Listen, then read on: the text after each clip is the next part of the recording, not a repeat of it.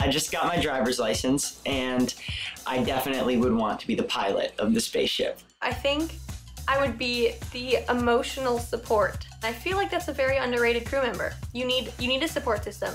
You need a cheerleader. And that's when I come in.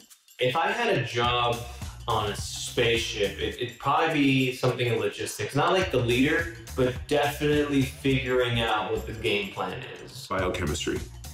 Well, I dabble in astrophysics, but those are my two things. What? I wasn't always an actor. I'm an aerospace engineer, so maybe I can help fix things. And also, uh, I'm a baker too, so maybe some zero G baking, maybe some cookie dough up there if people get a bit peckish. You gotta laugh when you're in space. You need someone to keep you entertained. Comedic relief. You know, I'd be working those computers.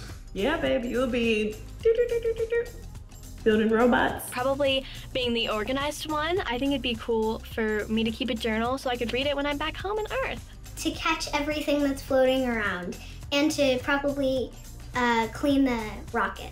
The first space air hostess. I can pour mate really well. Mate is an Argentinian tea, and I do a really, really good job at it. And I think that keeps the morale and keeps everybody nice and warm. I'm a good cook. I don't know how I would cook if like my barbecue grill was moving or the smoker's moving. Well, we couldn't really have a smoker, could we? I wonder where smoke goes in space. Anyone know? Can you make ribs in space? If I was on the space crew, my job would definitely be the engineer.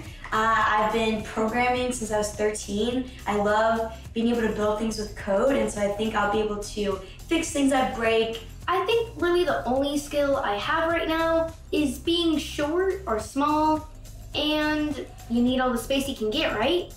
I'm a really good packer. I mean, like, I'm serious. Like, if they need someone to pack in the tight quarters and get as much as they can possibly squeeze in there, I'm your girl. I feel like my job would be the captain because I need to be in control to make sure everyone does their job correctly and stays on top of everything. I would be the flight engineer, assisting the pilot, doing tasks, all the other stuff. I think that's what I would be. I think my job would be the assistant to the captain because I'm hardworking. I just don't give up, and I just bring a positive spirit and a great mindset. I think I would I would potentially be the pilot. I have my resume lying here. I will be faxing it to NASA, Space Commander.